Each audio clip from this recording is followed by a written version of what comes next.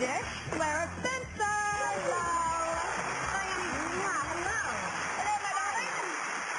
Hello. Now we go from vital juice to a real juice. This is called MonaVie. Glass of wine, anyone? I knew I got your attention. What, what, what's weird about it? All right. Say yes. I know you want to. Yeah. MonaVie is actually probably the healthiest drink you can get. Have you heard of the acai berry?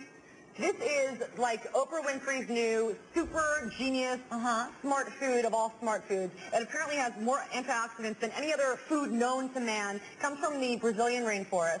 And this juice has it in it. Now this is $45 a bottle. But Whoa. all you need to do is have three That's ounces. one pricey berry. What is in that glass right now will give you the equivalent of three servings of fruit and veggies. I know you don't need it because you're a good eater, but I sometimes live on like That's a a lovely bar. bouquet. Um, but it's forty-five dollars. Like and blackberry. Uh, it apparently increases your memory.